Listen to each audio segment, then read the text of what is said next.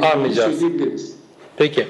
Ee, Mustafa abi şimdi e, Mesela Efkan hala çözüm süreci var mı yok mu diye soruluyor ya. Aslında sorulan soru hani adı çözüm sürecek süreci olacak mı diye sorulmuyor. Yani tekrar bu Kürt meselesini çözmek üzere iktidar ortaya bir irade koyacak mı? Ee, yeni bir yola çıkmayı düşünüyor mu biçiminde? Aslında kastedilen bu. Fakat işte masamızda çözüm süreci yok cevabı geliyor. Sorun da farklı, sorunlara bulunacak çare de farklı diyor. Fakat şunu demiyor Efkan hala. Yani Arkadaşlar adı çözüm süreci olmayacak, o artık geride kaldı falan filan gibi bir açıklama yapmıyor.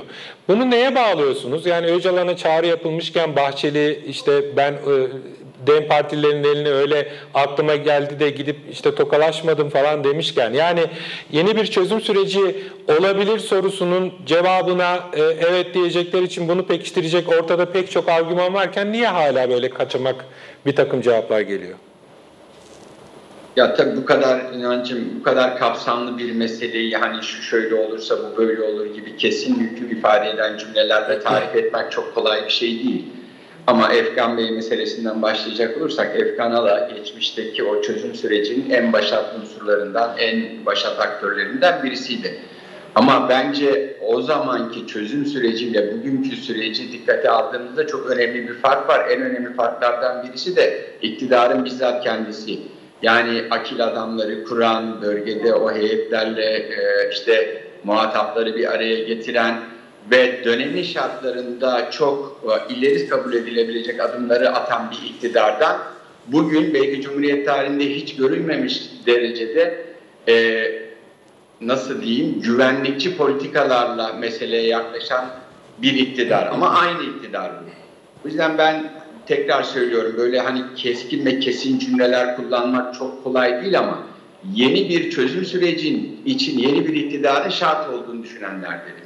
Çünkü bence hem bölge seçmeninde hem muhalefette bence çok ciddi bir güven sorunu yaşanıyor. Yani bu güven sorunundan kastım şu. Yani siz daha 3 ay önce DEM'le bir araya gelen muhalefet partilerini Kandil'den talimat almakla suçlayan bir iktidarsınız. Demle işte o altılı masa sürecinde masanın gizli ortağı yani bir terör örgütüymüş gibi ama 3 ay öncesinde de HDP olarak aynı meclis sıralarında yan yana oturuyordu. Aynı meclis lokantasında yemek yeniyordu. Aynı kuliste sohbet edilip çay içiliyordu. Bunu gazeteci olarak hepimiz biliyoruz. Ama topluma bambaşka bir tablo sunuluyordu. Şimdi böyle bir noktada 3 ay öncesindeki dille, 4 ay, 5 ay öncesindeki dille bugünkü dili yan yana getirdiğimizde ister istemez bütün kesimlerde bir tereddüt ortaya e, çıkıyor. Eğer bir çözüm süreci olacaksa bu çözüm sürecinde iktidarın bu diline, bu söylemine ne kadar güvenilebilir? Ee, Vahap Hoca da, Vahap Bey de söyledi. Evet muhalefet olabildiğince hani temkinli bir dil kullanıyor. İşte ana muhalefet partisi Özgür Özel'in de kullandığı dil. Yani şunu da ifade etmekte fayda var. Tabii Sayın Bahçeli gibi. Yani temel politik söylemini Türk milliyetçiliği üzerinden e, belirleyen bir partinin dem sırasına ya içimden geldi hadi gideyim ellerini sıkayım diyebileceğini düşünemeyiz. Yani böyle bir şey e, mümkün değil. Ben aslında sağlıklı görüyorum. Yani ben çözüm süreci yok demeyi o adından daha sağlıksız bir yaklaşım olarak görüyorum. Yani kanaat olarak söylüyorum. Yeni bir çözüm sürecini adı açılım olur, süreç olur ne denir fark etmez. Ama meselenin e, özü belli. Mevcut iktidarla, mevcut yapıyla, mevcut ittifak ortaklarıyla, iktidardaki ittifak ortaklarıyla sürecin yürütülebilmesinin e, çok mümkün olduğunu düşünmüyorum. Ama masadan tamamen kaldıracak bir dilin kullanılması da doğru değil. Yani burada kastım biraz şu, evet güven problemi var ama Türkiye'de bu kadar dış politik gelişmelerin kritik bir hal aldı. Yani ateşin kapıya dayandığı bir dönemde e, Kürtlerle Türklerin e, daha da kapsayıcı bunu e, ilerletebiliriz. İşte sekülerlerle dindarların tokalaşması bu ülkede e, bence yani en sağlıklı ilişkilerden birisi olur. Çünkü Türkler ne kadar Kürtlerin gündemine girip Kürtlerin sorunlarını sahiplenebilir ya da tersinden okuyacak olursak Kürtler ne kadar Türklerin gündemine girip Türklerin sorunlarını e, mesele olarak konuşabilir, tartışabilirse bu ülke buradan sağlıklı bir sonuç çıkarır. Yani e, tekrar söylüyorum bölgedeki gelişmeleri de dikkate alınarak ben bu çözüm süreci veya e, farklı bir ismi de olabilir, Kürt açılımı da olabilir. Ben dış politikada gelişmelerden çok bağımsız olduğunu düşünmüyorum. E, niye düşünmüyorum? Yani e, Sayın Bahçeli'nin el sıkışmasıyla örnek veriyorum. Bu hafta gündem oldu. TRT Genel Müdürü'nün işte bir üniversitenin açılışında İran'ı rahatsız etmemiz lazım yaklaşımının birbirinden de bağımsız olmadığını düşünüyorum. Dış politikada gerçekten çok kritik gelişmeler var, çok önemli gelişmeler var.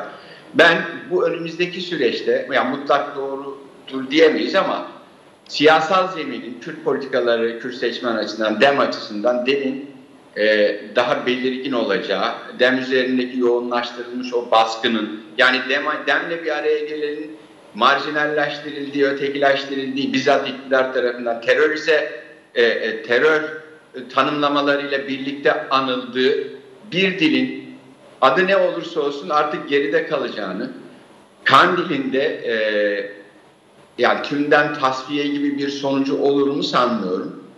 Ama Kandil'i değil daha çok siyaseti e, konuşacağımız bir sürece girdiğimizi düşünüyorum. Bu sürecin ana nedenlerinden birisinin de e, dış politikada yaşanacak kritik gelişmeleri daha net söyleyeyim yani biraz daha böyle Amerika merkezli bir politika e, Türkiye üzerinden şekillenecek diye düşünüyorum. Burada hem PYD'nin e, hem e, Türkiye'nin hem Kandil'in e, aynı merkez tarafından bir e, siyasal zemine sürükleneceğini ama burada Kandil'in e, çok daha e, e, pasifize edildiği, tasfiye olduğu bir süreç olacağını e, düşünüyorum. Hmm, anladım. Ee, şimdi e, Erdoğan ve Bahçeli işte hem memleketin hukuk ve demokrasi bakımından geldiği nokta falan değerlendirildiğinde size biraz değindiniz aslında. Ee, işte DEM Parti'nin daha evvel de bir o zaman HDP'ydi elbette işte bir çözüm süreci deneyimi var.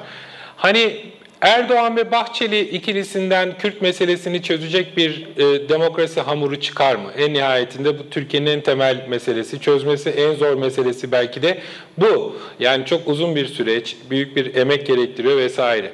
Ya bu yola çıkıldığı vakit işte bugünkü ihtiyaçlar neticesinde çıkıldıysa bu yola. Yarın öbür gün ihtiyaçlar değişirse ne olur? Hemen işte geri adım atarlar mı, bu işten ricat ederler mi falan diye insanlar şüphe ediyorlar. Bir taraftan da işte dış politika hani İsrail'in savaşı bölgeye yayması ve Amerika kurgusu evet PYD'ye Amerika'nın verdiği destek, onun himayesinde büyüyor oluşu, güçleniyor oluşu vesaire. Bu bağlamda bakarsak eğer, Vahap Hocam, yani